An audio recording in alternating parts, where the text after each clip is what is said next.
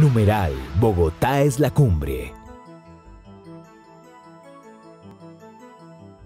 Los programas de renovación urbana son hechos alejados, lejos uh, de la participación de los habitantes de calle en ellos. Entonces se ve muchas veces la renovación como una forma de solucionar un problema y eso obviamente no soluciona nada. Uh, y también uh, los equipamientos públicos de salud, de acogida, de asistencia social son muy semejantes, con, con reglas muy parecidas y también con la oferta de servicios. Numeral, Bogotá es la cumbre.